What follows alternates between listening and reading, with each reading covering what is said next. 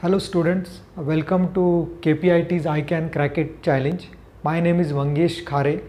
I am a practice director with the uh, KPIT's diagnostic team and uh, today I am going to explain you about the challenge in detail.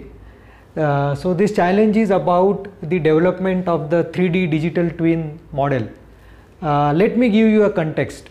Uh, in today's world as we see that the vehicles or equipments they have a lot of electronics in it. And it is always uh, this electronics is increasing day by day. And this makes the diagnostics uh, more challenging uh, as as we go ahead. Uh, so you have a lot of electronics. There are a lot of sensors actuators in in all kinds of devices as well as the vehicle. And because of this it becomes very difficult for a service technician uh, to to uh, to actually diagnose the equipment or a, or a device and to provide a solution so KPIT has uh, developed an advanced diagnostic solution uh, which uh, which will uh, which which provides a guided diagnostics to the service technician. So it identifies the faulty components and uh, it uh, improves the fix first visit or no trouble found. It makes the diagnostic more accurate and fast. Now we want to build this digital twin uh, which as you see here uh, like we have a vehicle we have a boiler uh, as an example. Now both these devices uh, provide a fault data.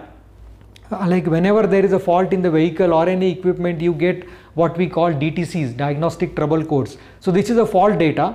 And at the same time we also can read the live parameters from these devices. So like temperature pressure flow. So this information is passed on to KPIT's diagnostic tool now this diagnostic tool as I explained earlier will identify the faulty components and will, will uh, guide the service technician.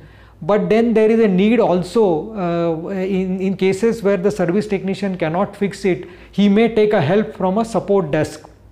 Now this uh, 3D digital twin uh, model is basically for a support desk where a support desk uh, technician can uh, really see a 360 degree camera view of the of that particular uh, component or a, or a, or a vehicle. And uh, so the, the, the first milestone for this challenge is to build a 360 degree camera view. KPIT would provide a 3D model to the uh, to you.